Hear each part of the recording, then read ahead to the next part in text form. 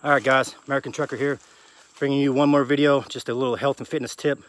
Start working out, now you can do as many of these as you want, you can do them as long as you want, you can do sets and rest in between, but here's, in my opinion, is a good um, exercise to do pre-workout and post-workout. Um, it's called, I don't know if there's even an official name for it, but I do, it's called a lunge crunch. So a lunge crunch. So I do 15 of these, turn around, do 15 more. I'm um, just gonna give you a real quick uh, tutorial on, on, what to do. Um, knees at a 90 degree angle, back straight. And then uh, of course you wanna try to touch your elbow to your knee when you do the crunch. Um, let me show you real quick what it looks like. Um, I'll be right back.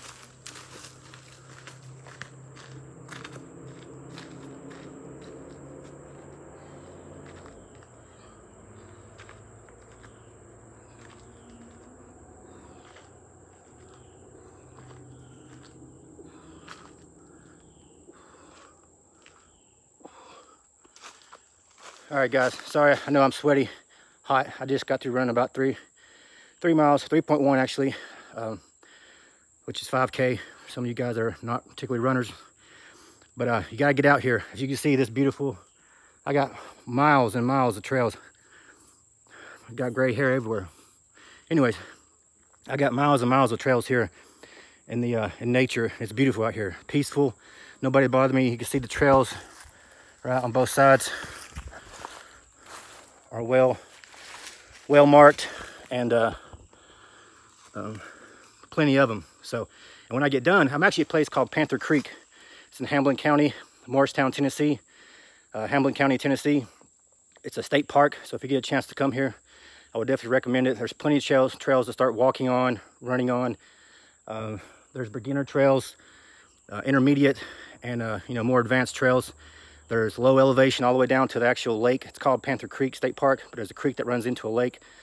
And so there's low elevation runs that you can do, which would be more easier because, you know, as we know, elevation, as you go up, the oxygen gets thinner, gets harder to breathe. And then for the more advanced, there's a place at the very top. It's actually a lookout, looks over the entire lake. Um, it's pretty neat, but you can run up there, uh, run all the way around down to the bottom of the lake, and then run back up the hill, which is gnarly as far as elevation goes but it's about three miles as well. So I like to put together about three mile, 3.1 mile uh, courses. Um, but I mean, there's there's literally, I don't know, there's got to be at least 100 miles of trails through here. You know, and most of them are marked if you stay like, by color.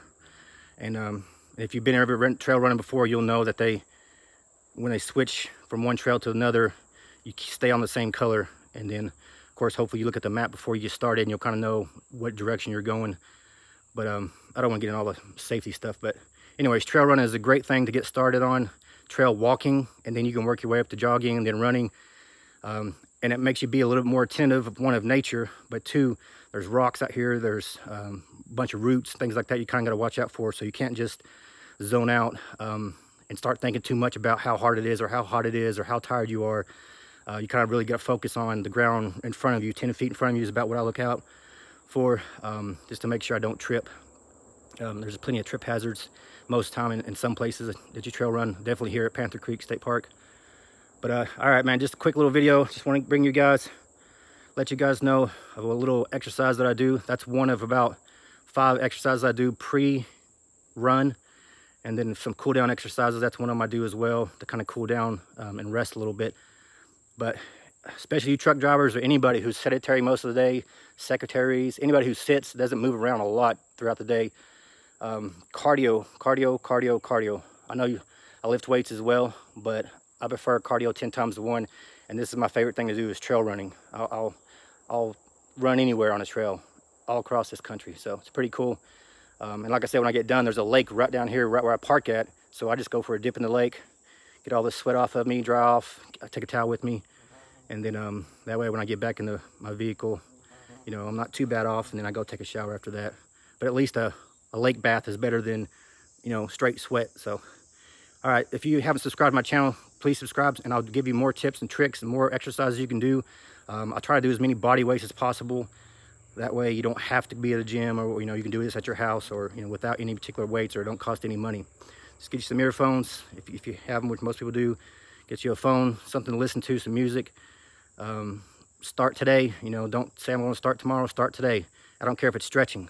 Do something today to better yourself uh, physically, and in turn, it should make you better mentally as you progress, right? Lose a few pounds, uh, get your cardio up, you'll start to feel a little better mentally, and we know those both go tandem, um, uh, you know, side by side together. When one goes up, the other goes up, one goes down, the other goes down usually. That's how it works. So if you can start working on your physical, um, it don't matter where you start, right? It just matters that you start. It don't matter how much you're overweight.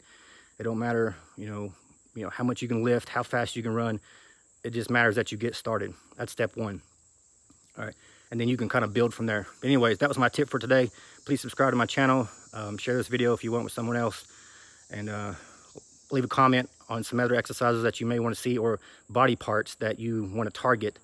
Right. And I know I got it. I, I need to make one about the stomach because that's everybody's biggest one. They want to lose 10, 15, 20 pounds on their stomach. Um, and that's a hard one but it's easier than you think it is as far as the information. The hard part is doing it. I could tell you what to do to get your stomach lose 10, 15, 20 pounds. I promise you. I could tell you what to do. Most people aren't willing to do it. Do it. They want the quick, right, take a pill or, you know, do this, something real easy, or easy exercise or, or something like that.